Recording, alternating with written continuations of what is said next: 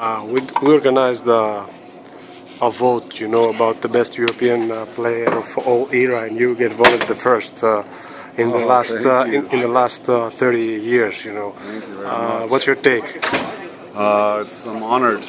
Uh, you know, there's a lot of great players that came out of Europe even before my time. You know, with with Petrovic and Kukoc and, and all these guys, and then, then we have some great young talent, obviously over the years with with Pau and and Tony Parker, and so uh, a lot of great players that came out of Europe. So uh, it's been it's been an amazing ride, and it's uh, it's been an honor to obviously represent uh, the continent of Europe, and um, it's been a pleasure.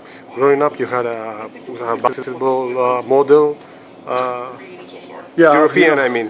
Uh, well, we in Germany, you gotta love Detlef Schrempf. I mean, we, we all liked him. Um, he was an all-star in his league. He was he won the best sixth man uh, one year in Indy, I think. Um, he was in the finals with, with Seattle a couple times, so he was a heck of a player. So I loved watching him. Uh, like I said, Petrovic was great. Loved Divac, Kukoc, all these guys were, were great players. Kukoc was second, actually.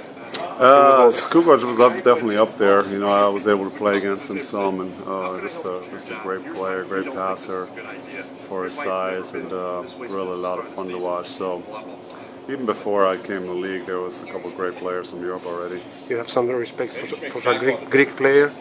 I like uh, I like Giannis a lot. I think he's going to have a great future in this league. Um, I think he's uh, he's obviously young um, and he still needs to improve in some areas. But I mean, he's so long, so talented, so explosive to the basket. I think he's going to have a great career in this league. And um, yeah, I have tremendous respect for Greek basketball overall. You know, they've done some great things. Obviously, they beat us in 2005 and and won the European Championship in Serbia a couple years ago. So And you beat us in your first uh, appearance in the zone. Yeah, but uh, you know, they're they're always great. They're, they're, basketball has a high standard in Greece, and uh, so um, uh, that's a great great basketball country, and they have some great history. You know, with with a lot of great players. So uh, a lot of respect for Greek basketball.